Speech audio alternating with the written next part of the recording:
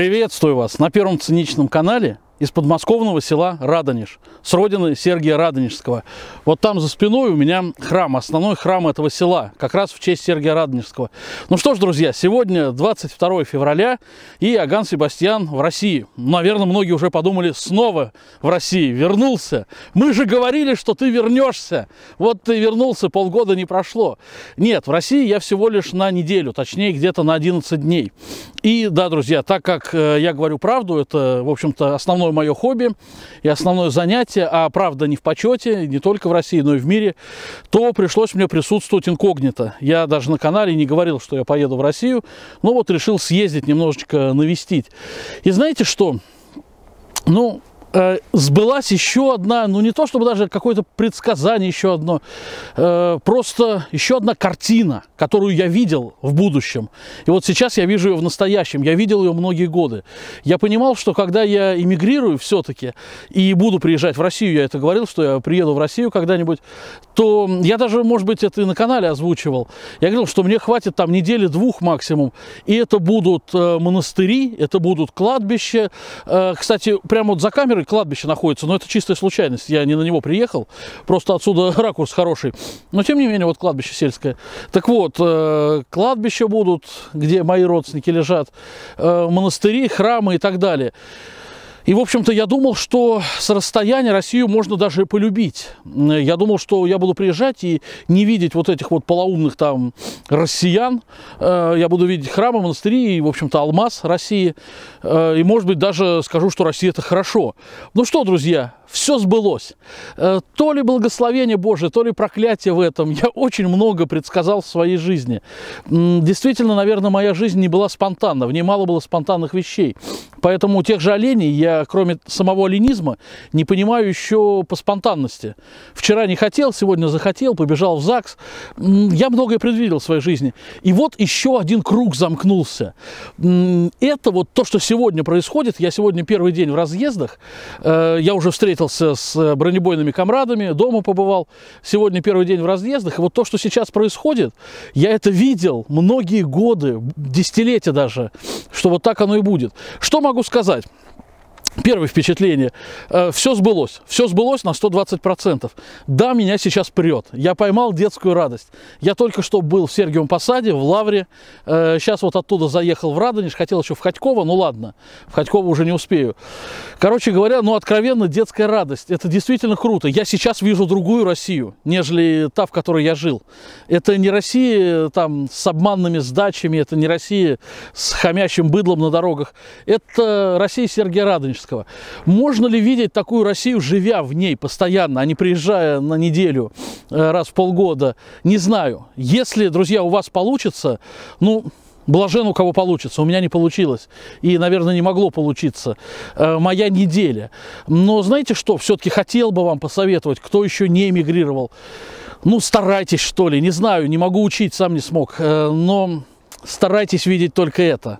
Вообще, не знаю, считайте, что здесь людей, что ли, нету. Я понимаю, что поживи тут я полгода, и все по-другому бы виделось. Но здесь действительно есть алмаз. Но как же его трудно видеть? Э, как же трудно видеть российский алтарь за российской помойкой? Да, в любом храме есть помойка, и в любом храме есть алтарь. И нужно видеть только алтарь. Друзья, не сбавляйте планку. Вот сейчас я могу это с уверенностью сказать. Чистите свою жизнь от паразитов. Э, скажем так, в мире нет людей, за исключением тех, которых вы знаете по имени. Вот поставьте себе это за правило. Либо вы знаете человека по имени, либо его нету для вас. Э, все, все остальное как бы от лукавого. Потому что считать, что не знаю, какой-нибудь работодатель, которого вы тоже, кстати, по имени знаете, но я имею в виду не только знаете по имени, вынуждены знать, а хотите знать, какой-нибудь работодатель, какая-нибудь госжена, там, друзья-паразиты, друзья в кавычках, этих людей нет, потому что, ну, старайтесь, чтобы их для вас не было, потому что если они есть, они не дадут видеть вам алмаз, они не дадут видеть алтарь за помойкой. Оптимизируйте свою жизнь. Вот понимаете, раньше у меня была хреновая Россия и все. И там иногда вылазки за рубеж. Сейчас у меня все хорошо. У меня отличная Турция, и я приехал в прекрасную Россию. И это не прекрасная Россия будущего, это Россия настоящего. Но это Россия храмов и монастырей. Та, которая затмевается повседневной жизнью. Но для меня она сейчас есть. Эта неделя будет просто ну, фонтаном. Завтра Оптина, заеду в Оптину поеду, в Шамардино, в Козельск заскочу, э, попробую. Послезавтра в Тутаев поеду, может быть, попробую в Юрьев Польский заскочить. Хочу в Углич доехать за всю жизнь не доехал в Углич, доеду теперь иммигрантом. Вот, короче говоря, монастыри, монастыри, всю неделю буду ездить. Старайтесь очищать жизнь, старайтесь сделать так, чтобы у вас было постоянно хорошо чтобы у вас вот эта вот э, рулетка крутилась, там, не знаю, бинго какое-то, и у вас не было варианта выпадет хорошо, плохо, средне. У вас будет либо такое хорошо, либо другое хорошо. Но это всегда будет хорошо. Э, достигайте покоя в душе обязательно. Потому что, когда у вас на этой рулетке очень мало хорошо и много плохо, то даже когда она выпадает на хорошо, вы его не воспринимаете. И я не воспринимал. Вот она крутится, крутится, уже вот оно хорошо подходит, но это слишком маленький сектор хорошо. До плохо и после плохо. И вы смотрите, смотрите и не выдержите, и говорите, да черт с ним, там все равно все плохо будет. Вот, все равно сейчас либо проскочит, либо не дойдет стрелочка. Вот, и даже когда она дойдет в редкий раз, вы уже плевались, вы уже все, не восприняли, что это хорошо. Чистите вашу жизнь, не допускайте людей-паразитов. Друзья, э, говорю за себя, если бы, как бы вы поняли мою логику, я не говорю, что она для всех подойдет, не работайте. Не работайте по найму. Невозможно сделать хорошо, когда вы работаете по найму. Вычистите свою жизнь вот от этой наймитской холопской работы. Э, придумайте где-то дистанционный доход. Придумайте, не знаю, из кожи вылезьте, но придумайте. Потому что вы не представляете, чего лишаетесь. Я понимаю, что теоретически, де юра, здесь мог бы жить человек, который был бы, ну, просто святым. Казалось бы, вот возьми любого сейчас, подойди на улице, скажи, чувак, ты в таких местах живешь. Я неделю здесь, и я надышал держаться не могу, мне уже уезжать. Но я точно так же, как этот чувак, скажу, а больше недели сможешь? Нет. Нет. И я уехал, и я не жалею, что я уехал. Потому что больше недели начинается уже другая Россия. Вот. Короче говоря, ну не знаю, обгоните меня, что ли. Если я для вас там хоть в чем-то могу вас научить, вы так считаете, ну, любой ученик должен превзойти учителя, тогда обгоните меня. Научитесь здесь алмаз выделять и не замечать остальное дерьмо. Научитесь довольствоваться двумя каратами и не замечать тысячи тонн. Потому что два карата это алмаз, а тысячи тонн всего лишь мусор. Короче говоря, пробуйте, друзья. Я не знаю, как здесь, как в этой стране можно быть каким-нибудь там атеистом, аметистом. Э, здесь вообще, в принципе, только монахом, наверное, быть-то можно, потому что все остальное бессмысленно. Здесь есть алмаз, который превосходит даже иммиграцию. Здесь есть то, что превосходит все возможное. Э, и куча мусора. Здесь невозможно быть посреднику. Какого хрена вы в этой стране можете гнаться за работой, за успешным успехом? Здесь нету ни работы, ни успешного успеха. Ни жизни нормальной здесь нету. Здесь есть алмаз, вот реально алмаз, православие. И здесь есть горы мусора все остальное. Поэтому здесь, если что-то брать, то сразу алмаз. Здесь жить так жизнью монаха-отшельника какого-нибудь, э, богомольца, ходить вот по этим храмам, смотреть вот такие пейзажи, это просто захватывает. Но больше здесь ничего нет. Здесь нет срединного пути. Здесь либо золото, либо грязь. Вот. А если вы не тянете золото, тогда иммиграция. Тогда, если вы хотите серебро, тогда иммиграция. Потому что здесь альтернатива золоту только грязь. И я не представляю, как здесь можно говорить, что нет, православие не для меня, христианство не для меня. Тогда ты говноед, тогда ты мусор только для тебя. Тут больше нету вариантов. Э, если бы ты сказал, что православие не для меня, и я там уезжаю куда-то, вон, как Аган в Турцию поеду, я бы понял. Вот. Но, грубо говоря, да, нет, не по венец все понятно, сам такой. Но жить здесь и брать что-то, кроме православия, это безумие, друзья.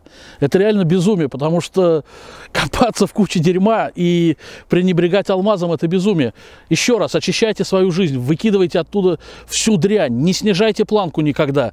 То, что там, не знаю, выкинуть бы мне 20% дряни. Ни хрена, друзья, не снижайте.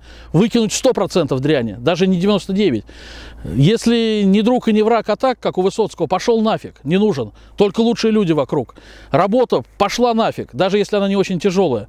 Только творчество, даже не, дистант, не дистанционная занятость, не фриланс. Это все полумеры, только творчество.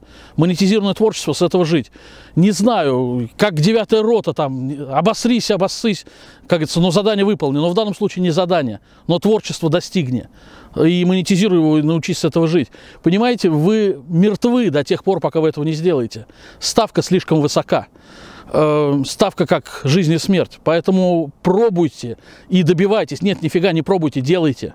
Вот в данном случае не пробуйте, друзья. И да, покуда вы уж не сбежали, пока вы еще здесь, православие, друзья, православие, храмы, монастыри, дышите этим. Э, сейчас я, я не жалею, понимаете, я не мог по-другому. С одной стороны, могу сказать, что как говорится, что имеем, не храним, потерявши плачем. И сейчас не надышаться за неделю.